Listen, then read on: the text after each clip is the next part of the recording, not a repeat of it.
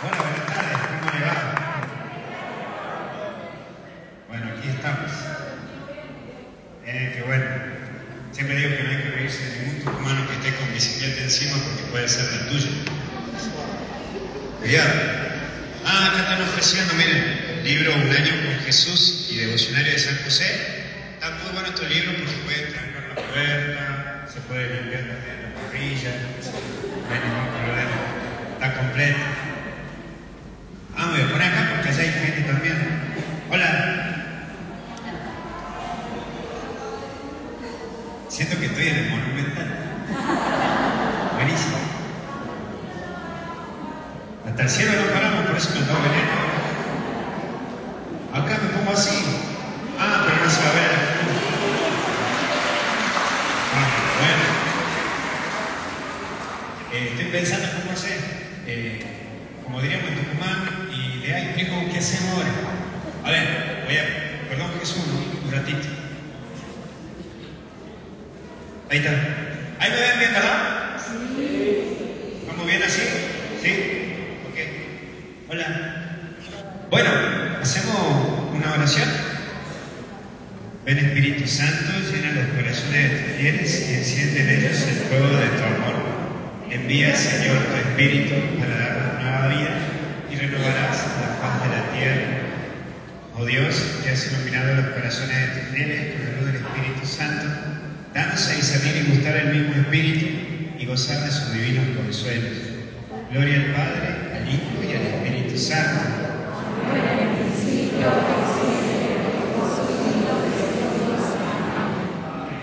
Santa María, esperanza nuestra y asiento de la sabiduría, ruega por nosotros. Bueno, un gusto de poder al Padre Fabián, a Guille, que me han permitido estar acá compartiendo. Yo reconozco que la verdad que me cuesta un poco dejar la parroquia, ¿no? Porque ustedes saben que tengo una, una parroquia grande.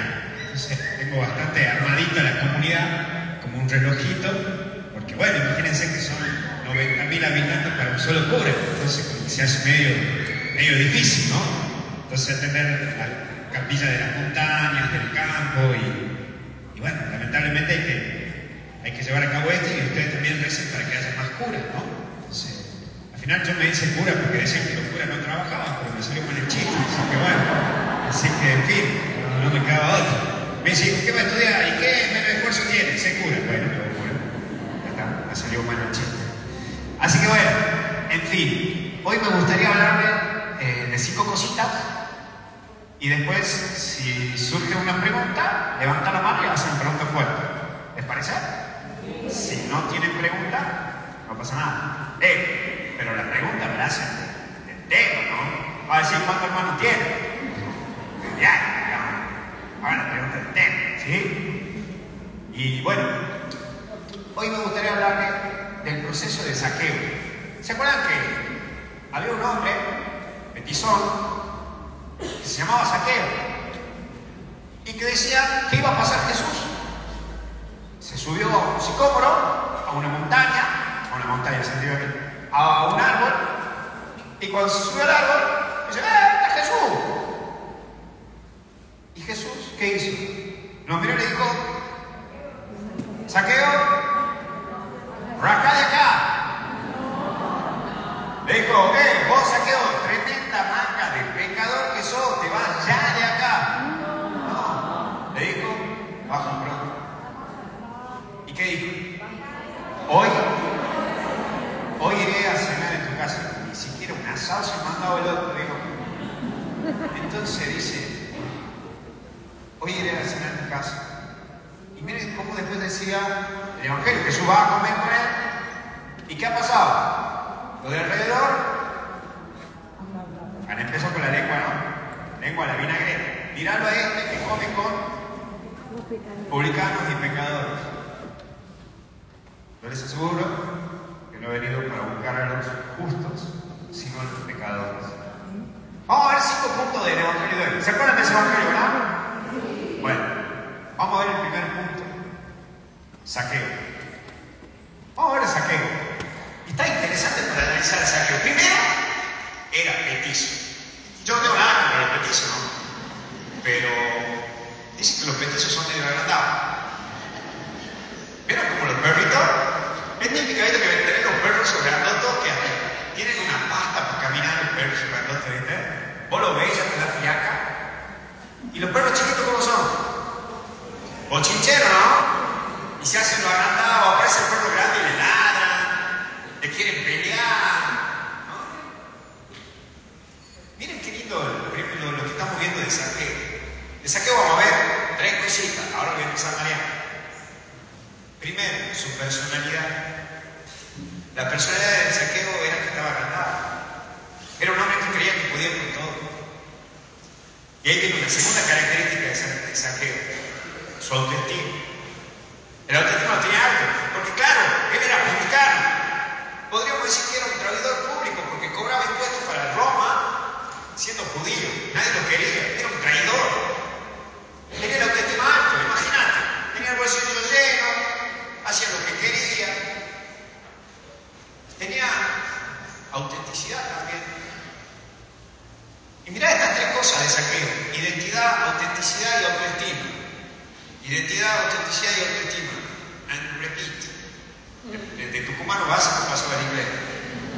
Identidad, autenticidad y autoestima. Son las tres cosas que vos tenés que trabajar siempre en tu vida.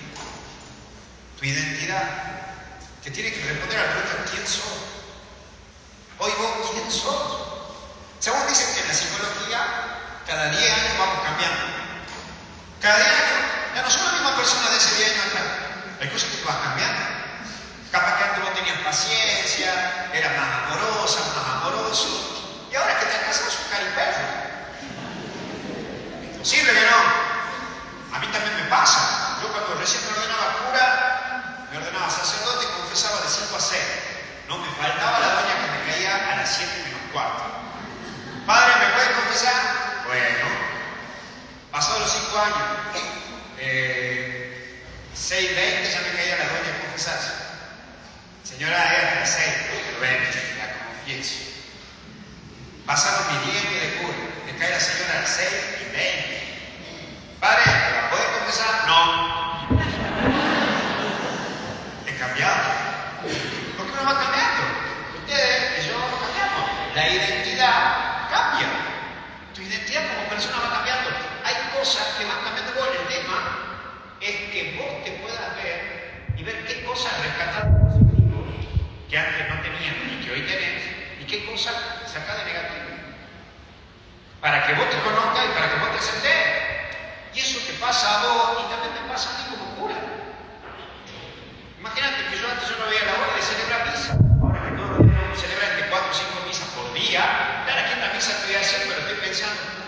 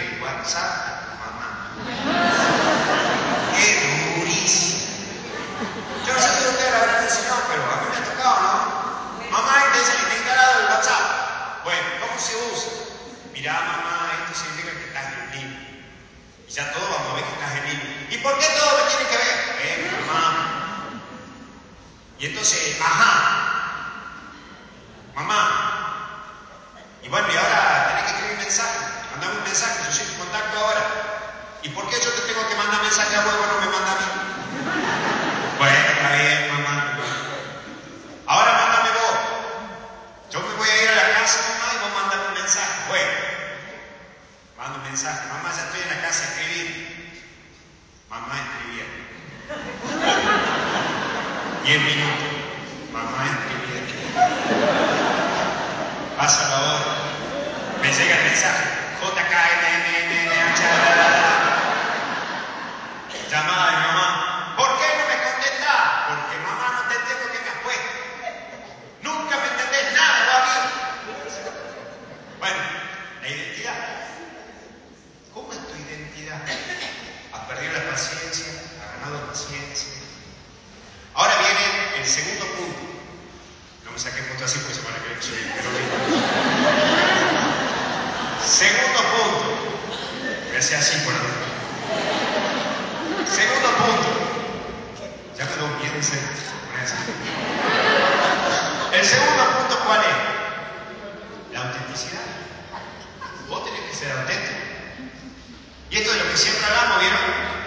No es lo mismo mostrarte como sos a mostrarte como los otros quieren que vos te veas. No sé si se me entiende. Si no me entienden, busquen en Google. Es decir,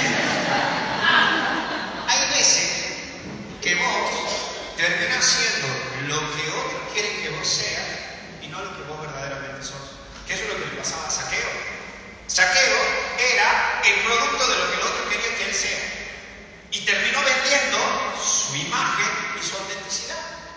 Él no era auténtico. Él era lo que los otros querían que sea. Y eso también te puede pasar a vos. Porque vos podés ser una, ¿vieron como la bipolaridad? Vos sos una cosa en tu casa, sos otra cosa en el laburo, sos otra cosa en la iglesia, en la parroquia. Entonces, la pregunta es quién sos. Siempre pongo este ejemplo, ¿vieron? Eh, día de la madre, pongo un ejemplo, Día del padre, Día de la madre, en el Twitter. Hoy es el Día de la Madre, yo tengo la mejor. Bien, bombazo, buenísimo. Después Facebook, fotito con mi mamá. Mamá, sos la mejor. Gracias. Facebook, Instagram, en el Instagram, en el vivo. Estoy camino a la casa de mi mamá porque hoy es el Día de la Madre. Llega a la casa, golpea la puerta, abre la puerta de la mamá, hola vieja, ¿cómo estás? ¿Se trae milanesa? Listo, vamos.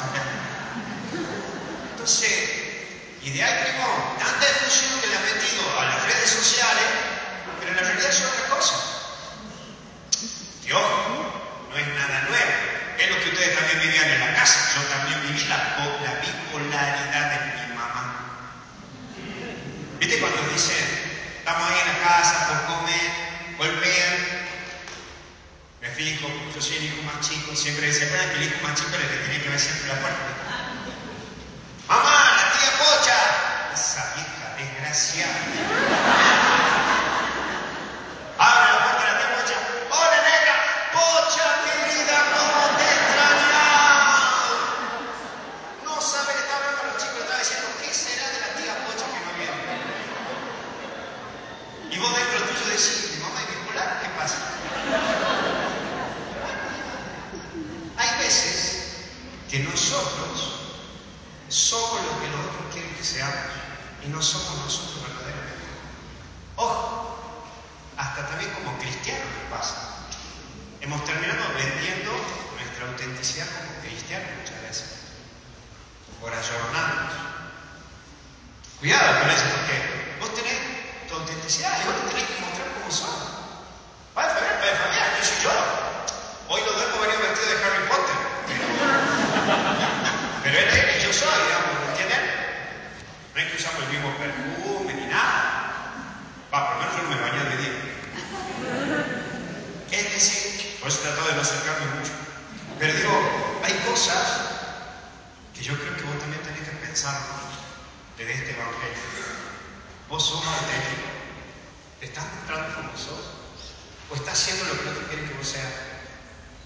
Porque tarde o temprano, si vos seguís siendo lo que otro quiere que seas, te va a agarrar una crisis.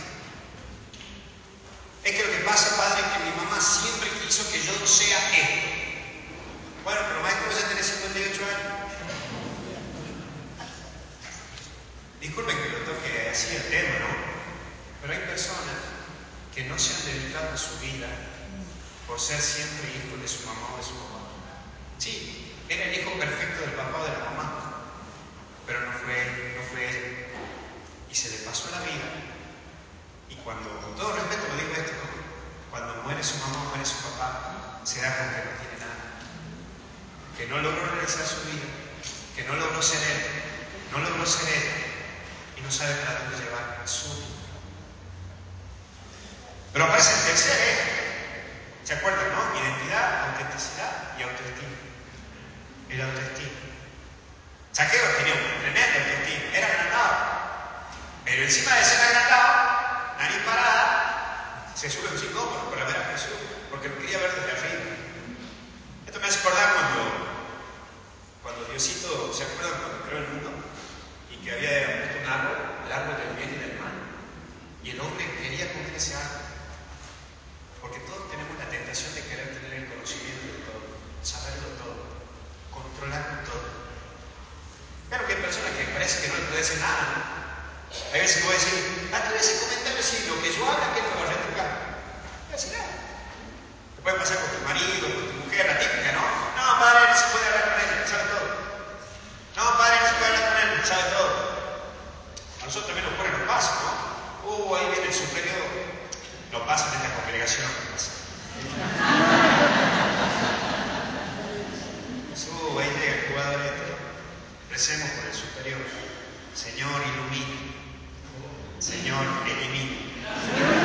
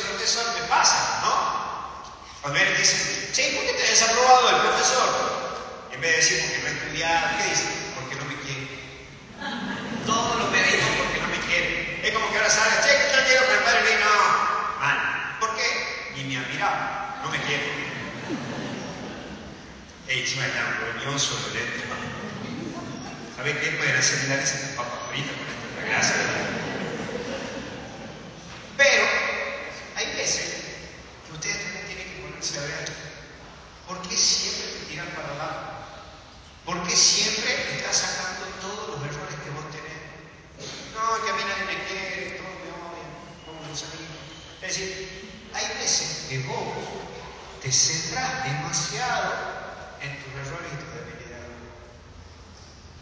Y hay veces que me parece que vos también sos medio sarcástico con vos mismo o con vos misma, que siempre te estás sacando en cara con tu pecado dominante.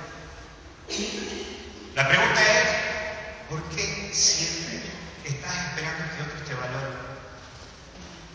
¿Y por qué tu vida se detiene porque otros te tienen que querer? Hay veces que no sabemos dimensionar y confundimos amor con obsesión. Y miren los evangelios de, estos dos domingos pasados, qué hermoso, ¿no? El evangelio del desprendimiento, que fue el anterior, y este domingo el de la misericordia. Porque es un estilo de vida. Y Jesús te enseña que no puedes obsesionarte con las personas. Y hay veces que confundís amor con obsesión. Cuando yo amo a alguien, estoy dispuesto a dar mi vida. Pero al mismo tiempo, no estoy dispuesto a dar mi vida para que esa persona esté conmigo. Estoy dispuesto a dar mi vida para que esa persona sea feliz. Estando conmigo o no estando conmigo, que es lo que vivimos con Jesús. ¿Se entendió? Si en el Instagram me están viendo ahora, no estoy hablando de ningún.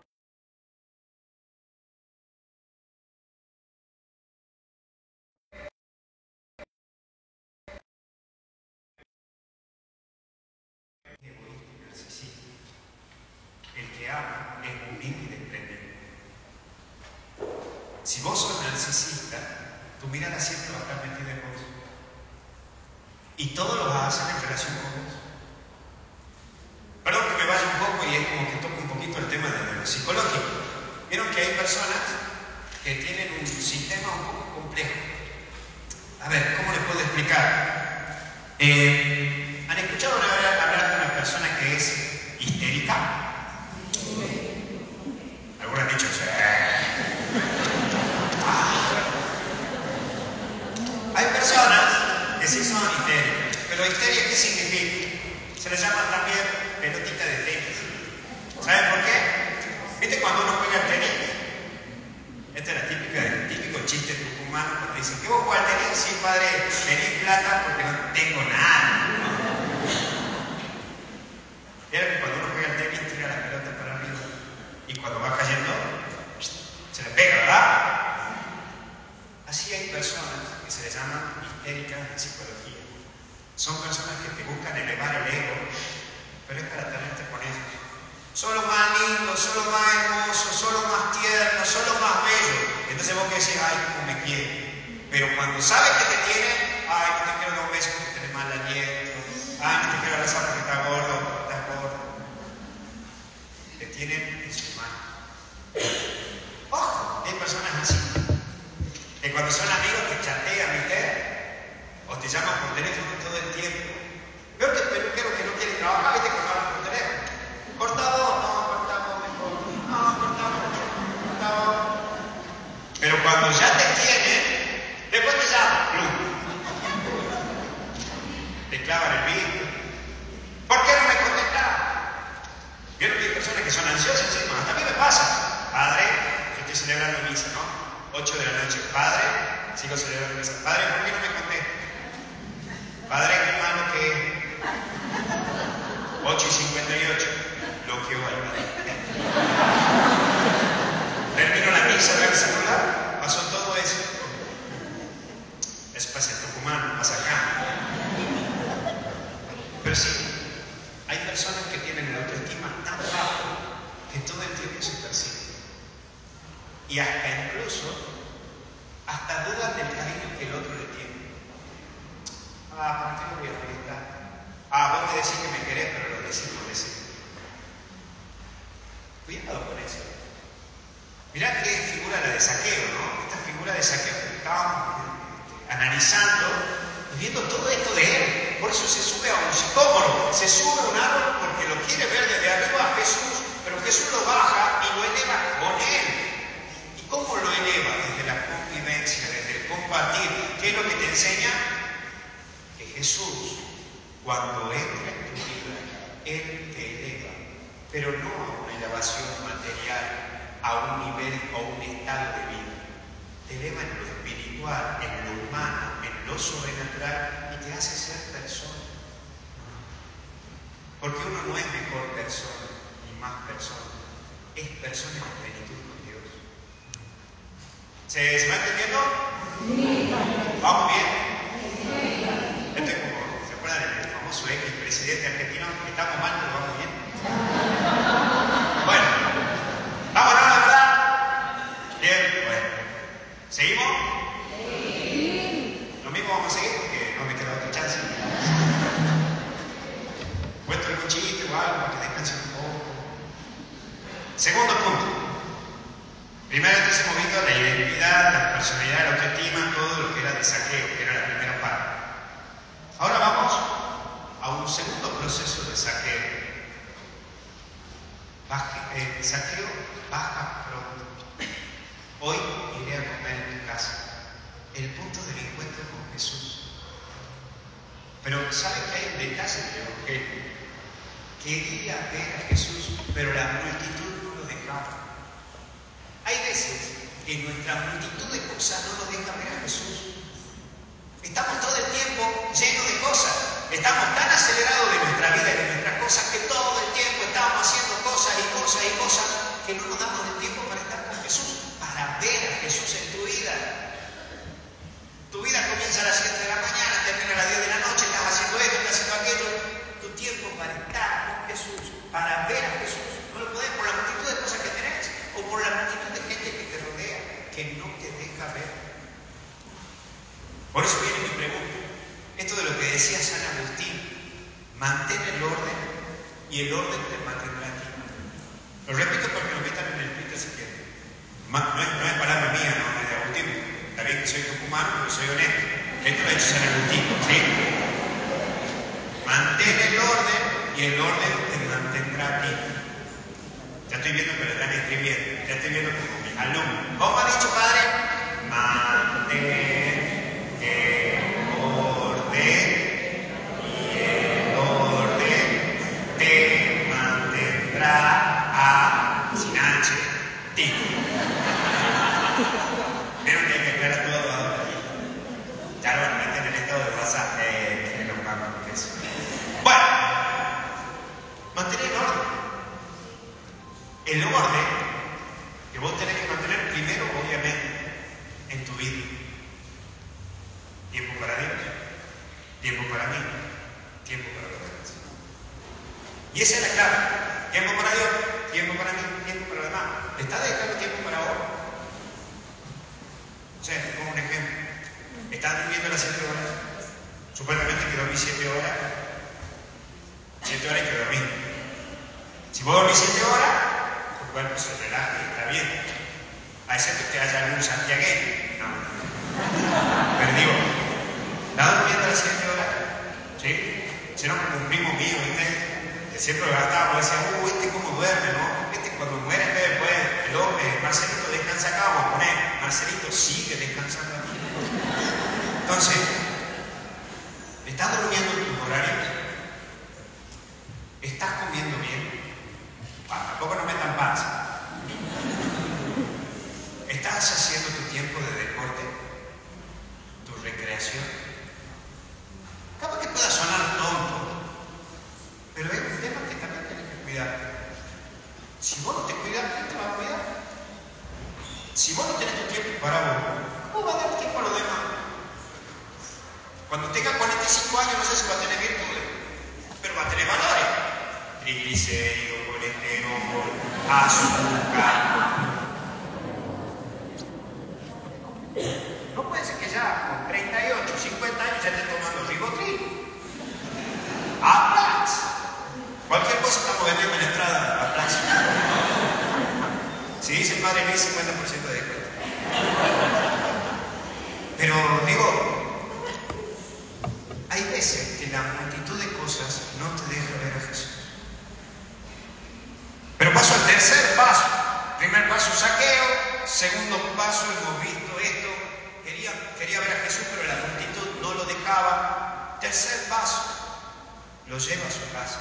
Baje, saqueo baja pronto. Cuando uno tiene un encuentro con Jesús, te cambia la vida. Que me imagino que a ustedes les habrá pasado. Es decir, cuando uno tiene un encuentro con Él, te cambia la vida.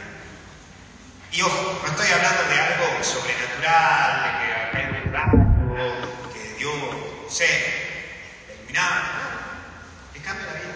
Y podés ver la vida de una manera distinta, porque tenés los lentes o la visión sobrenatural. Que es lo que nos permiten los santos. Los santos nos demuestran que podemos llegar a la santidad, a estar con Jesús, a sentir un cambio en Jesús. Otra vez, me acuerdo que fui a visitar una, familia y yo estaba con lo de Carlos Acuña y Carlos Acuña. Tuvieron que estar de visita por. Y dale con Carlos Acuña, y. Y se levantó una chiquita y dice, padre, estoy harta el padre de Carlos Acuña. No, digo, ¿pero por qué? ¿Por qué se ha hecho fácil? Se ha hecho santo fácil, dice.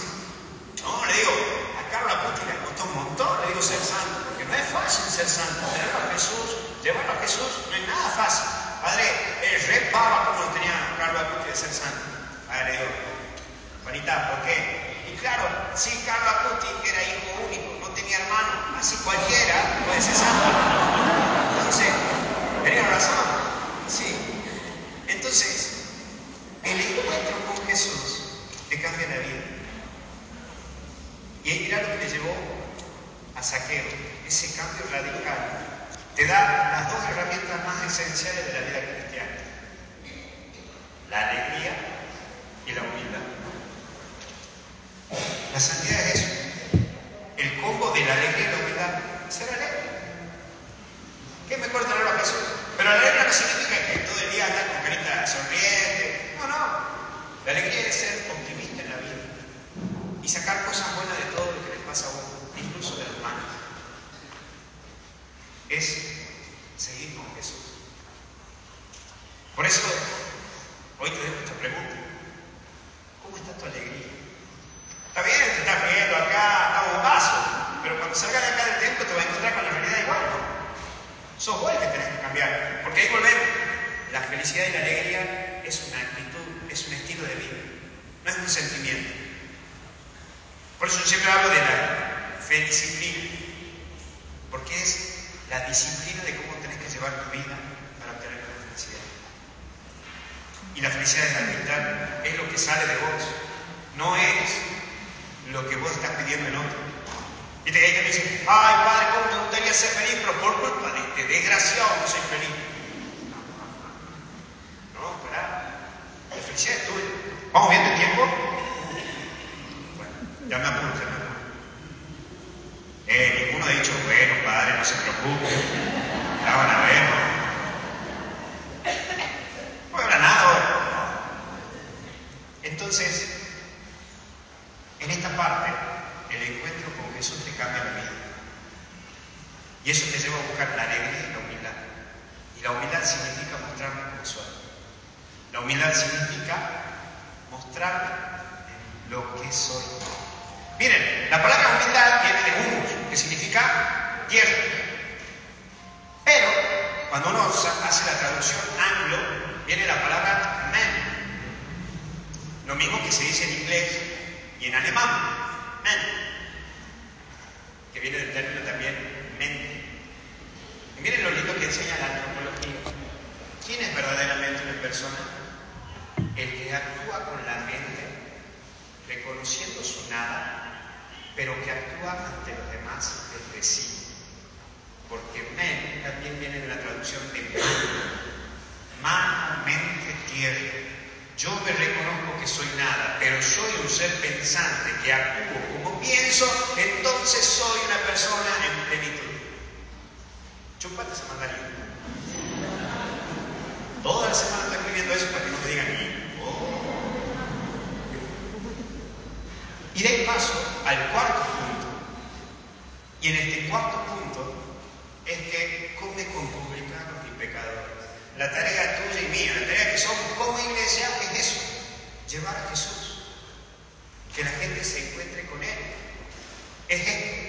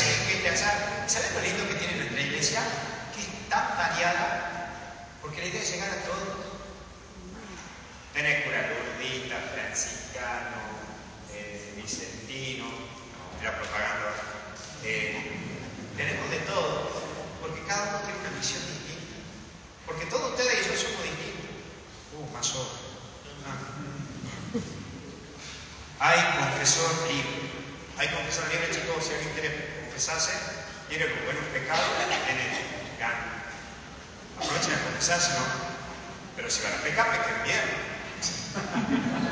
Y de ahí viene el quinto y último punto. Aparte de que estamos llamados e invitados a salvar almas, hoy el Señor nos propone, por sobre todo, en convertirnos en misioneros, en su discípulo. Saqueo sale a misionar. Saqueo se convierte en discípulo de Jesús, en un apóstol. Es decir, sale a anunciar, pero no sale a anunciar desde un libro, desde un escrito, sale a anunciar desde su experiencia. Chicos, chicas, yo les propongo que ustedes anuncien a Jesús, pero no que mañana salgan con la Biblia bajo el brazo y digan, hoy te quiero anunciar a Jesús, como dice Mateo 19, del 1 al 8. No, con tu testimonio de vida, con tu hablar, con tu expresar, con tu abrazar, con tu simpleza. Hay veces que nos detenemos y que parece que tenemos que ser doctores en teología para salir a anunciar a Jesús. No, mostrarlo con tu vida, con tu testimonio. Acuérdate de esta frase. Dios no llama a los capacitados, sino que capacita a los llamados. Y Él te va a dar la gracia que vos necesites para salir a anunciar. Le dejo tres propuestas para tener presente. Digo que me gusta siempre dejar cositas muy concretas. Primero, un tips que te dejo, que te tiro como para crecer en humildad. Siempre trata de tener en tu bolsillo un rosario, una cruz. ¿Para qué? Para que cuando la gente te alabe, toque la cruz y recuerde que están alabando a la mano de Dios que está en tu vida. Yo lo llamo, perdón que es medio catastrófico lo mío, yo lo llamo el síndrome del difunto. ¿Viste cuando la gente lo alaba? ¿Viste que siempre cuando vamos al velorio del difunto y está muerto, ¿viste? Obvio, muerto se está muerto de difunto. Pero, ¿viste que cuando la gente siempre llega al, velorio siempre lo alaba al difunto? ¡Ay, qué bueno que era! Cuando estaba en vida nunca le he dicho nada, ¿no? Pero ahora está muerto, ¡ay, qué bueno que era! ¿Y qué dice el difunto? Y nada, si ya está muerto. Y al rato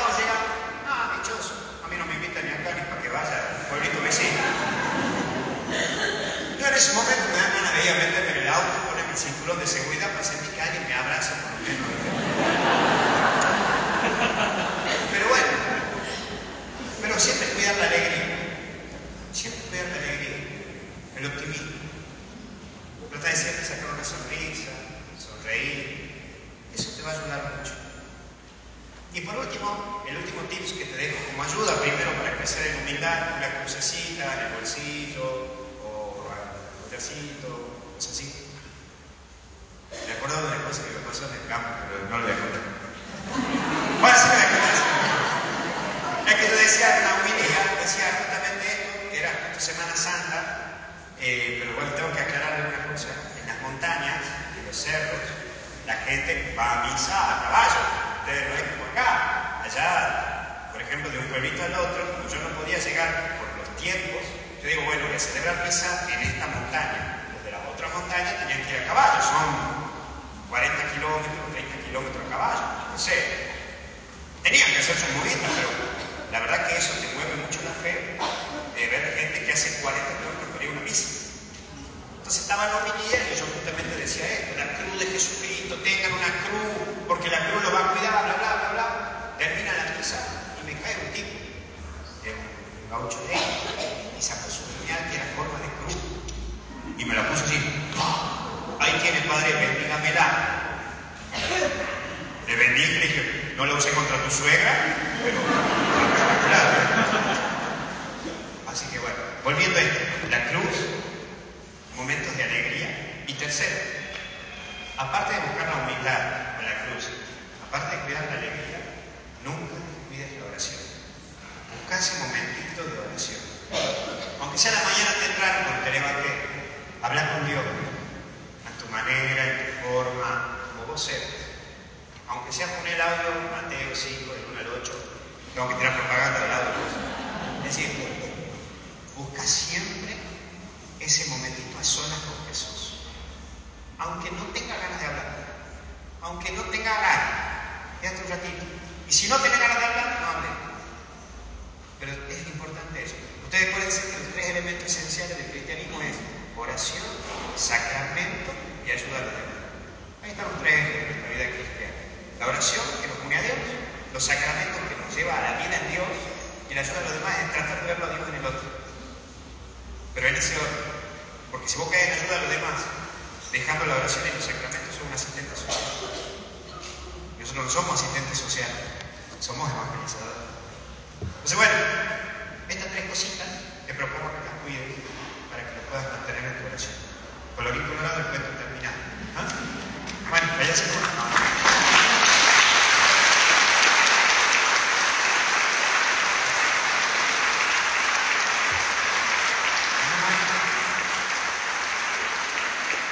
No me ladres, porque si no vamos a terminar cantando. Después no, me, voy- no voy a querer venir a Constitución, me querer al, al Monumental. Eh, si alguien tiene pregunta, levante la mano. Este es un asalto. ¿Alguien tiene pregunta? Levante la mano. Si no tiene pregunta, no levante la mano. Allá. Hola padre, ¿cómo le va? Bien, ¿usted? Bien. Buenísimo. Le felicito por, por un rato que nos hizo pasar y rezar por la, por la gente que está enferma y las almas nuestras que ya están descansando en paz. Amén. Amén. Muchas gracias. No, nada más. Bueno, después tomamos un mate.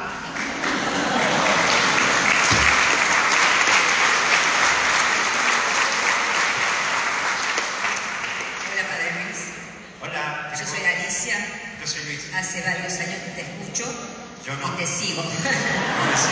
Eh, tenía miles de inconvenientes para llegar, pero sabía que el Señor me, me quería acá. Y dos horas antes se define todo lo que tenía que hacer y acá estoy. Le doy gracias al Señor y a María por poderte tener cerca porque yo soy tucumana. Vamos todavía. Gracias. Después nos vamos rápido los dos porque si falta algo nos van a echar la culpa. ¿Alguien más? Allá.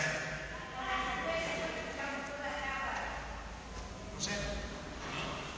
Vamos por acá atrás. Allá veo. Profesor, ¿en qué área es? Ah, enseño. Introducción a la psicología, introducción al psicoanálisis, antropología filosófica y doctrina social de la iglesia.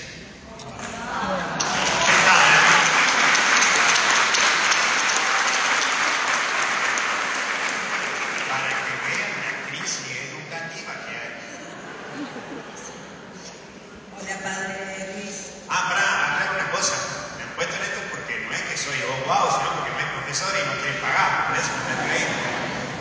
Sí. ¿Qué tal? ¿Cómo le va? Mi nombre es María Celeste. Bueno, yo eh, la escucho hace varios años. Ah, tengo mi abuelo, seis años, Pocha, en Córdoba, y y a sus audios, los sacerdotes. Eh, le llama la atención el yo. Claro. A ver, para que no se escuche. Vení, vamos, vení más para acá adelante, vení. Si te va a aguantar el olor porque no me he bañado. Vení. ¿Qué tal? ¿Cómo les va? Ah, no te Eh, querés le acercar, ¿no? decía eh, que yo lo empiezo a escuchar hace un tiempo. eh, mi abuela, que tiene 86 años, vive en Córdoba. Ella no ve, pero siempre me reenviaba sus audios. Ella era salmista en la iglesia y todos los días me reenviaba sus audios y de otros sacerdotes más. Y a mí me llamaba mucho la atención su forma de predicar y se lo quiero agradecer porque gracias, gracias a eso que tiene usted, que llega mucho a la gente, eh, que yo me volví a acercar a la iglesia. Eh, así que lo escucho todas las mañanas, para mí es un aliento y se lo quiero agradecer. No, gracias a vos. Bueno, saludos a Doña Focha. Gracias por todo. Me ha hecho acordar eso de la gente. Por la otra vez decía, allá está la gente y los sacerdotes. ¿Vos decís, ¿cómo ya los sacerdotes ya no son gente? Ah, Hola, padre. Hola. Luis. ¿cómo andás? Al fin lo conocí. Yo soy Raquel, eh, que le dijo, voy a ir a Santiago del Estero porque soy de Santiago. Y voy a ir a Tucumán a verlo a usted y para que usted me confiese. Y voy a estar en la misa. Pero para la gloria de Dios, vino a la comunidad. ¿Vio cómo hace las cosas Dios? El tema es que si seguís pecando, porque si vas a tener que confesarte, pero duro, ¿no? Muchas gracias. Otra cosa, padre. Semilla fértil. Usted sabe de la palabra. Usted hizo la pregunta a través, o sea, estudió con usted a través de las redes. Semilla fértil, de ayer. Sí, Del sembrador, ¿se acuerda? sí, sí. Bueno, bienvenido, padre. Después, Muchas gracias. firme la foto, ¿eh? Bueno. Es muy interesante y esto está bueno para aclarar, porque ustedes saben que Misioneros Digitales es algo que surgió en el año 2016, pero que hoy es una comunidad muy grande y que ya tenemos muchos misioneros, entre esos los que están por aquí. Entonces la idea es que ustedes se formen, entonces todos los días, como estamos en el mes de la Biblia, se están publicando cositas para que ustedes puedan aprender cosas de la palabra de Dios. Próximamente va a haber más cosas en Misioneros Digitales. Acaba de salir para Spotify Santo Café, donde ponemos la vida del santo en cada semana. Y la idea es que ustedes puedan tener momentos en que puedan meditar en sus circunstancias, maneja el auto, el que está en la casa, eh, herramientas. No hay una más que otra ni mejor que otra. Son cositas que ayudan para su vida espiritual. Así que bueno, espero que les sirva y que les ayude. Sí. Fabio. Listo. Bueno, padre, yo soy José, soy de esta comunidad. Eh, eh, yo replico muchas cosas de, los misioneros digitales, de, de Telegram. Este, también tenemos esto de la Biblia, lo que usted está haciendo ahora. Y vamos a hacer una actividad este sábado con cosas que usted ha mandado. Pero mi pregunta es esto de, de ser saqueo, ¿no? Eh, cuando uno, uno está ahí abandonado y, no sabe que lo tiene ahí al lado a Dios, ¿cómo podemos lograr llegar un poquito mejor? Porque rezamos y, hacemos todo, pero siempre hay algo como una piedrita que no, viste, como que te tienen ahí en el camino. ¿Y cómo hacemos? La respuesta a esto es, no lo sé. Yo creo que es, es verdad, ¿no? Y, justamente esta mañana hablaba con Andrea de que todos tenemos una cruz, todos, ustedes, yo. Y hay veces que tenemos la tentación de guardarlo todo. Te cuento una, una experiencia. ¿Qué pasó? La policía va. Eh, esperemos que deje de sonar, pues ya. Qué lindas las campanas, che.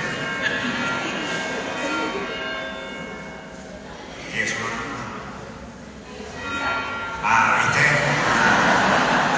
Todo lo tengo controlado. Está muy bien. No se va a caer, señora, porque le van a meter ganas. Usted tampoco, don.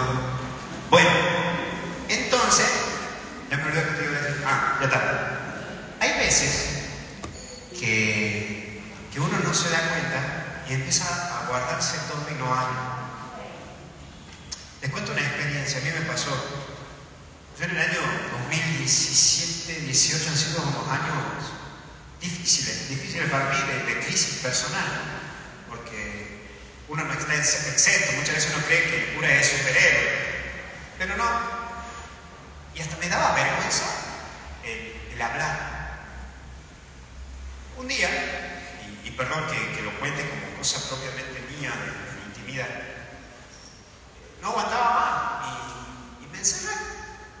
Me encerré en el baño, solamente a llorar. ¿Viste cuando estás cargado entero ¿sabes? Y claro, yo tenía mis amigos, pero yo digo, ¿qué le voy a contar? Porque yo soy cura y mirá la, estupidez que uno se pone en la cabeza, ¿no? Yo soy cura, soy man, entonces ¿qué le voy a contar a ellos? Es una tontería, porque yo también soy tan humano como ustedes. Me encerré a llorar. Y, no me iba a buscar otro cura porque tenía miedo a los prejuicios. Vieron que los prejuicios siempre son esas piedritas, como decía vos. Me encerré. Justo, yo tengo, ustedes saben tengo mi mamá que ya está en silla de ruedas. Justo mi mamá no sé cómo subió y no sé cómo, de cómo manera, yo creo que es Dios. Subió y, me escuchó llorar. Obviamente, golpea a Henry. Sí, pero claro, viste que uno se toma ese tiempo para llorar con ganas, ¿no? Porque es como cuando encuentras a una persona que está llorando y decís, ¿qué te pasa? No, no puede, está, está agarrado, está sujetado, ¿viste? Y yo no estoy bien. Y, bueno, salgo para que se quede tranquila. Y me, me sorprendió su actitud. Nunca me preguntó qué me pasaba. Me abrazó y me dijo, acá estoy. Acá estoy. Repete mucho eso de que no me, no me cuestione, no me interrogue. De que me diga solamente estoy ahí. Si quieres seguir llorando, llorando, yo voy a estar acá. Ahí comprendí que en la vida tenemos que dejarnos acompañar. Hay gente que no te va a juzgar. No va a haber gente que te va a jugar. Entonces, ¿cómo llevar adelante estas piedras? Dejándote acompañar. Más cerca. Hola. Ahí. Quiere decir que he hablado al cohete. Bueno, no era de vuelta todo, pero es dejarse ayudar y por sobre todo, yo siempre digo los tres elementos. Primero, obviamente, la oración, pero segundo, todo lo que se habla tiene solución. Hablar con alguien, cura, religiosa, religioso, eh, psicólogo, psicóloga, amiga, amigo, hablar. Todo lo que se habla tiene solución. Incluso, yo lo único que te sugiero es que con quien hables, sea una persona prudente. Hablar lo que te pasa. Así puedes llevar adelante todo. Y tercero, recordar que tenés límites. No podés todo. No podés todo. Tienes que dejarte ayudar y, y recordar que tenés los límites. Eso. ¿Alguien más? Por acá. Soy Luciana también de esta comunidad y lo escuchaba cuando explicaba lo de la identidad, poniendo ejemplos de tal vez en lo que uno mejora o, empeora técnicamente. Y mi pregunta es, eh, ¿cómo identificar esa identidad? ¿Cómo saberse? Desde lo, desde lo católico uno entiende identificarse con Dios, pero tal vez como lo viene analizando desde la psicología, me gustaría ver qué mirada tiene sobre cómo, cómo llegar a esa identidad. El chiste es ese punto, ¿no? Este, de saber quién soy yo. Perdón que voy a, entrar en una cosa un poco más técnica desde lo antropológico, ¿no? No es lo mismo temperamento que carácter. El temperamento es algo con que vos ya naciste, es algo innato. Ya sos simpática desde el nacimiento, amiguera, amiguero desde el nacimiento. Hay cosas que vos ya tenés desde de tu, toda la trayectoria de tu vida. El carácter sí cambia. Cambia según las circunstancias, los momentos, las situaciones. Vos tenés que, recordando tu temperamento, qué es lo que viene marcando durante toda tu historia de vida. Vos siempre fuiste así. Por eso en los momentos de crisis, ¿cómo puedo salir de los momentos de crisis? Recordando quién soy, recordando mi historia, de dónde vengo, de dónde soy. Yo soy Luis. Yo soy Luis. Me dicen ustedes, padre Luis, pero yo soy Luis. Una vez me, me tocó, yo era secretario del obispo, en los inicios, 2012, 2011 y me tocaba llamar a algunos curas. Y una vez llamé a un cura y le dije, che, habla el secretario del obispo. Y me dice, no, pará, vos sos obispo. Eso sos vos. Tu función es el secretario. Y me hizo clic. Hay veces que nos recordamos de otra cosa y no es lo que yo soy. Volver a recordar quién soy. Volví a vos. Volví a tu historia. ¿Cómo descubro mi identidad? Volviendo a mi historia. Recordando mi niñez, mi infancia, lo que ha marcado mi mi viejo, mi abuelo, mi abuela. ¿Qué me dieron? ¿Qué, qué soy? Eso es mi identidad. El carácter va a cambiar. Mi temperamento, mi temperamento es volver a eso. ¿Se entendió? Gracias, Padre.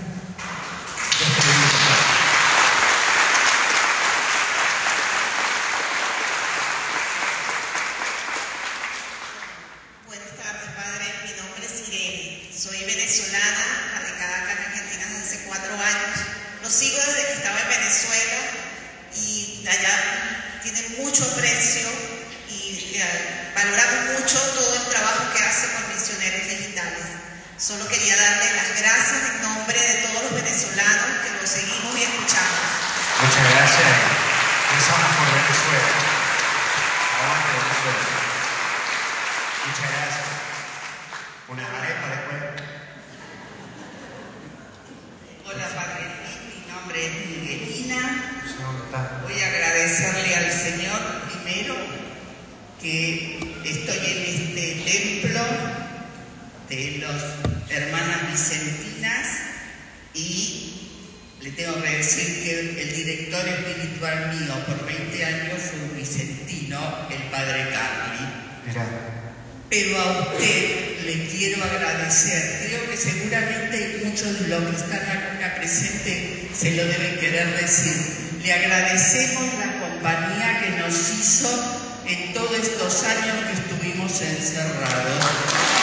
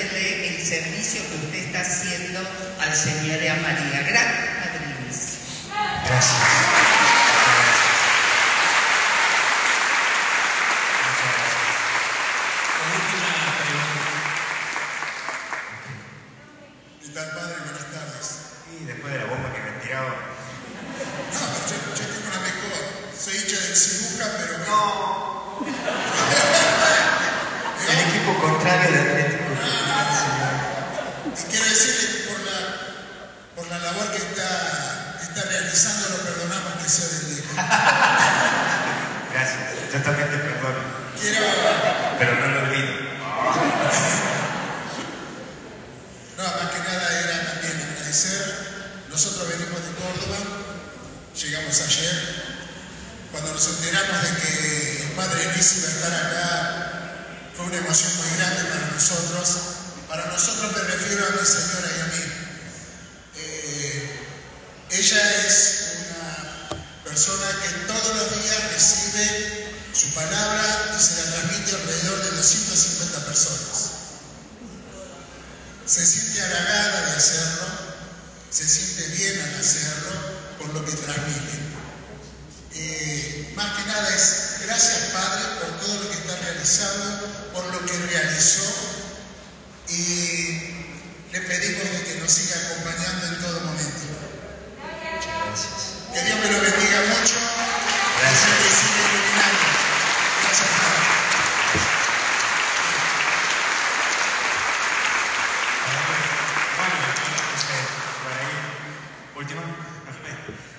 Eh, no, solamente antes de agradecerle y bueno, gracias por mí. Gracias, Padre. Gracias por todo. Eh, gracias. Y no, agradecerles porque no es fácil, no es muy fácil. Eh, perdón que, lo diga así, pero yo mismo yo reconozco que yo me pongo un...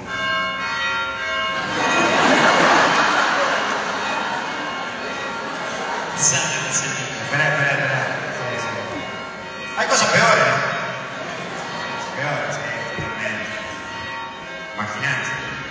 qué sé yo, que te sirvan la comida y luego otro te lo coma, eso es, pero ahora van a ser dos campanas, ¿verdad?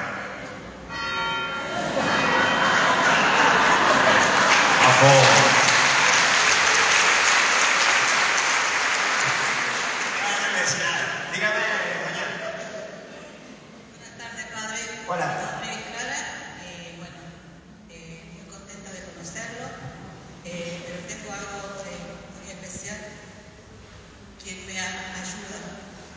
que te manda rosarios todos los días.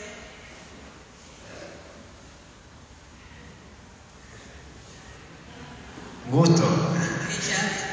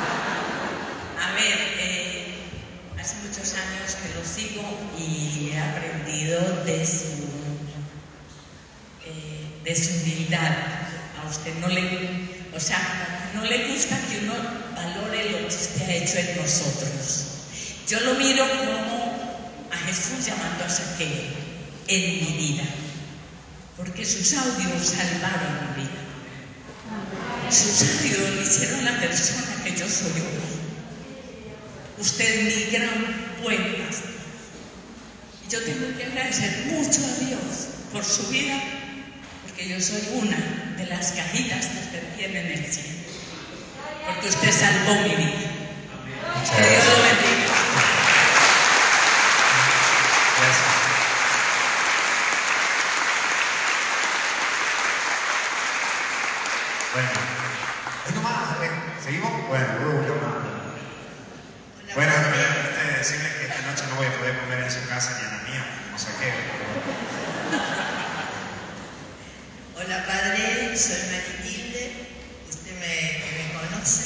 me acompañó en 2020 con mi enfermedad. Estuve, estuvo siempre rezando yo todas sus misas, las sigo y le quiero comentar que hoy tuve una alegría porque estuve con la oncóloga y me dijo que ya no voy a tener más quimio el.